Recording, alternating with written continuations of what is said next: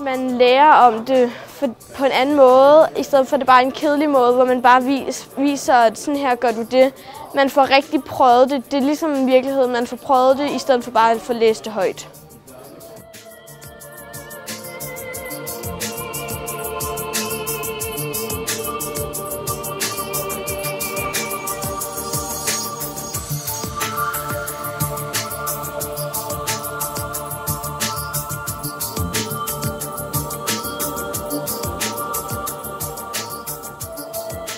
Vi har naturkræfterne og naturen, vi har det matematiske i forhold til konstruktioner, vi har designet. Øhm, og så synes jeg også bare, at det samtidig skaber det der med, at man er i en fælles platform, skaber et eller andet fællesskab og en eller anden kommunikation imellem eleverne, som det nogle gange kan være svært for lærere at etablere på andre måder eller med andre projekter. Så der synes jeg, at Builder World har en, en fordel frem for mange andre digitale læremidler.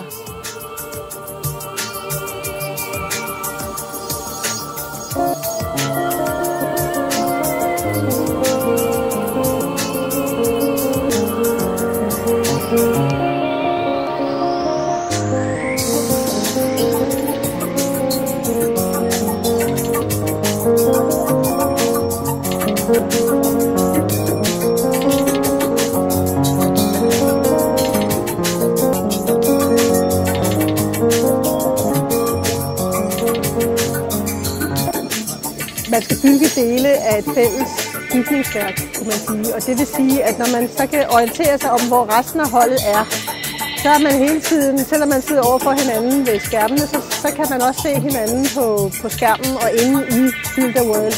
Så man kan på den måde øh, hvad hedder det, trække på hinandens øh, kompetencer, som man nu har aftalt, at man skal bidrage med noget forskelligt.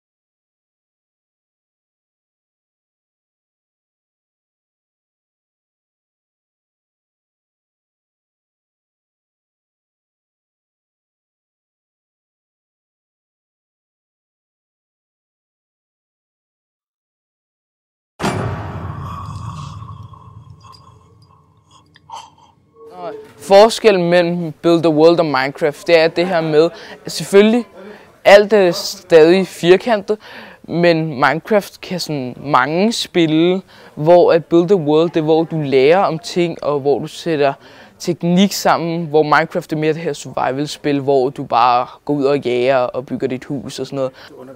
Build the World er godt til at lære om, hvordan man kunne sådan, lave ting i verden og hjælpe folk med at komme for eksempel mere rundt i verden, eller sådan transport, eller hvordan man kunne lave øh, verden til et bedre sted. For eksempel mig og nogle af mine venner lige nu faktisk, vi er i gang med at lave et kæmpe stort atomkraftværk for at få ekstremt meget til den her by, vi har fået. Bare lige for sjov for at se, hvor meget strøm det egentlig giver. Øh, og der øh, gik vi direkte, vi fik at vide vores grupper, så gik vi direkte ud og begyndte allerede at lave tutorials. Og nu arbejder vi sammen med igen at lave transport og strøm. Det arbejder vi sammen med hele tiden. Så vi arbejder hele, sammen, hele tiden sammen med de her hold, vi er i. Så det er også en masse samarbejde, vi har. Kan. Så det var rimelig nemt for mig, selvom jeg aldrig nogensinde har spillet computerspil på den måde før, at bruge Builder World til lige præcis det, jeg gerne vil have det til at gøre.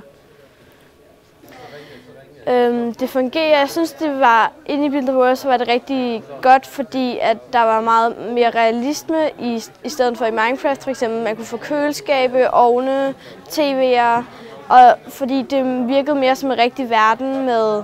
Sådan noget, fordi hele min forudsætning for at gå ind og lære at spille og kende, var at jeg skulle have bygget en vulkan og så simuleret et vulkanudbrud. Så jeg var jo nødt til at kunne nogle af de der ting, og det lærte jeg gennem tre af tutorialsene, og så synes jeg faktisk, at jeg var så fortrolig med programmet, at jeg kunne gå i gang med at bygge min egen vulkan i min egen verden.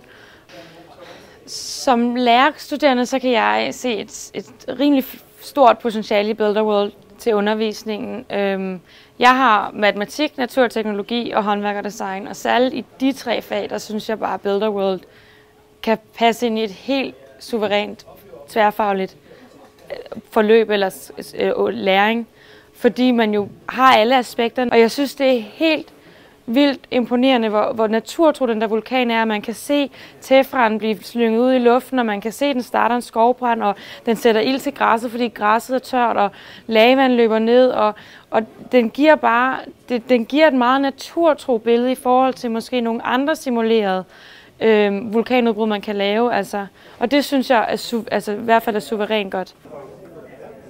Build the World øh, understøtter den del af, hvad du kalder den moderne undervisning med, at vi kan, øh, vi kan gennemspille, og vi kan lave, bygge de her scenarier, som egentlig er noget af den ramme, vi gerne vil, vil sætte. Når nu vi for eksempel i fysiklokalet skal bygge en generator, så har vi den jo som en model opstillet meget simpelt med noget udstyr, men hvordan den egentlig skal bruges, eller hvordan den virker ude i, et, en by, det, det er jo noget andet. Vi kan selvfølgelig godt gå ud og kigge på en transformerstation eller overveje at finde en generator et sted, men det er alligevel noget andet, tror jeg, at se sammenhængen, som man kan i et program, hvor man har hele verden med, eller i hvert fald den del af virkeligheden, vi har, vi har pillet ud.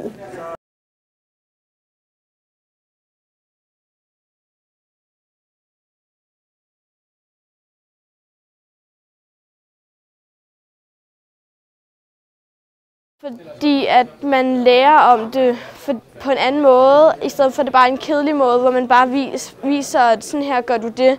Man får rigtig prøvet det. Det er ligesom i virkeligheden, man får prøvet det, i stedet for bare at få læst det højt.